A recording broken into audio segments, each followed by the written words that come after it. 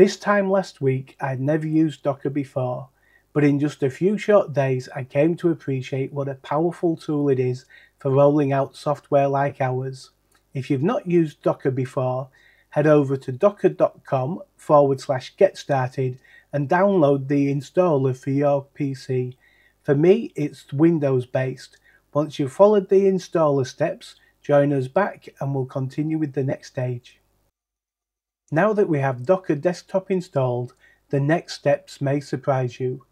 We need to leave it open so it can work its magic in the background. However, we're not actually going to interact with the program, and instead we're going to open the command prompt in Windows by pressing the Windows key plus R, typing CMD and hitting enter, and then heading over to our GitHub page, which I'll link in the description below, and we're going to get two commands to copy into the command terminal window. After opening the GitHub page, if you scroll down slightly, you can see the quick start commands for Docker. If we take a look, the first command, which I'll copy now, is docker run, and it's going to create a detached container named Telegram Claimbot. It's going to restart it if it stops, unless we deliberately stop it, and it's going to pull from the repository the Brumby forward slash telegram claimbot. Now let's head over to the command window and paste that command. Now we copied and pasted that Docker instruction into our command terminal, let's see what happens when we hit enter. As you can see, it's going to the Docker server and pulling the latest image of our script. Depending on your internet connection speed, that's just going to take a minute or two to download as it's around 500 megabytes in size. Now that it finished downloading, you can see it gave us a hash that represents the container that it has set up. However, thankfully, it'll let us refer to it by the familiar name Telegram Claimbot. With the second command, we can look into that container which is already running. As we can see, the prompts changed to user source app which now means we're inside the container. If I type the Ubuntu command ls, it'll list the directory contents. If I type the command pm2 list, it'll show the pm2 or process manager 2 um, process that's running. Here we can see it's just the daily update. If I type pm2 logs, it'll give us the output from the up daily updater so as you can see, it's updated all the games just recently. If we press Ctrl C, we can exit PM2 logs. Now let's type our first command to interact with the games, launch.sh and hot. Here we can see it's launched our script and we have some variables ready for interacting with the game. I'm going to leave everything as the default. So if I press enter, it's going to accept the default settings. And if I press enter again, it's going to set up the default wallet, which is named Wallet1. Before I hit enter, I've prepared my mobile phone and I'm going to open the Telegram app, go to the devices page and prepare to link a device because when we hit enter on the screen, which I'll do now, it's going to try and generate a QR code for us to scan. So there we go. I'm going to link the device and it's captured that with my camera. So in a few seconds, the script should recognize that and it's now going to check if we have two-factor authentication. With this account, I don't have two-factor authentication. So it asks, would I like to save that Telegram session for later use? I'm going to tell it yes and when it asks for a custom file name I'm going to give it my name which as you know from the channel is Phil.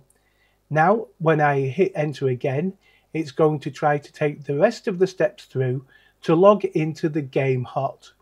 Logging into the game hot is done via the seed phrase and as you can see the input is hidden by default. If you want to see the input you can change that in the settings. Okay, so it's now successfully logged into the hot game. At this point, the script pauses and it gives us a few options. So if we just want to push ahead and try and make a claim, we can select Y. If we want to exit the script completely, we can press E. However, if we press A or hit enter, it's going to try and add that to the process manager or PM2 roster. And that's the action that I'm going to take. And in many cases, that's going to be the default action. So if I hit enter the first time, we can see there's now a new process ID 1 and it's called by the wallet name hot for the script and wallet 1 for the default wallet. And if I press enter again, that's going to save the PM2 list. So next time we restart the server, that's already going to be put in. And if we leave the computer on, it's going to keep that running in the background. Now, if I type PM2 logs 1, or I could also type PM2 logs hot colon wallet 1, we can see that it's already tried to make a claim. So it's detected that there's 9 hours and 2 minutes before we make that claim, and it's going to wait until then before processing. As you may notice in the box above my head, the rightmost column is titled Watching, and for our game, the Hot Wallet one, it's set to Enabled. That means if it detects any changes in the file system for the script of Hot, it's going to restart with the latest version of the code, and the daily update script is going to check twice a day with GitHub to see if there's any updates so using this Docker method, you should always be up to date with the latest version of the script. At this point, we could just type the word exit and hit enter and it'll take us back to the Windows command prompt. From there, we could even close the Windows command terminal and it would still keep our process running in the background as long as Docker Desktop stays open. However, let's go back into our container and try to add a second game. So for that, we'll repeat the docker exec command. This time we will type launch.sh and we'll pick wave, which is the open sorry ocean token on the Sui network. Let's not update our settings and we'll take the default wallet name again. So this will be wave colon wallet one. Now it recognizes we already have a Telegram account set up and as that's the same account as I want to use for Wave, I'll just put the number one and enter. So we can see it successfully restored the backup of our Telegram account. It's going to try to log into the um, Wave wallet and it's prompting us to enter our seed phrase. So here is a seed phrase that I have for the Wave Wallet game and it's correctly stepped through. So as with the hot, I'm going to press enter to add that to PM2 and we can now see a second process ID called Wave um, Wallet 1 and press enter again to save it. Now if I type PM2 logs number 2, this will get process ID number 2. So we can see that um, the pot is filled. This means it's actually going to make a claim this time. And the balance after claiming has now gone up. Um, I've got 347 wave tokens and the timer is going to be around two hours before the pot's filled again. Um, so this time it's going to wait 135 minutes before making another claim. Now if I press Ctrl C to exit, and once again I can exit and leave all that running in the background. So there we have it. In around 15 minutes we were able to download the desktop version of Docker.